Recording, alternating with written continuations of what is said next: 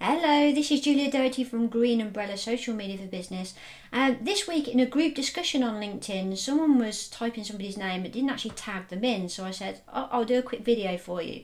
So this one's for you, Rob, just to show you how to um, tag somebody in. And not necessarily just tag a person in, but also tag in a business name as well. So say if I was going to say um, to, or a big hello, to, and if I just type in the word Rob, you'll see that none of the names come up. Whereas if I actually do an at sign in front of it and then don't type in the first name, always type in the surname. For some reason the surname gets indexed a lot better.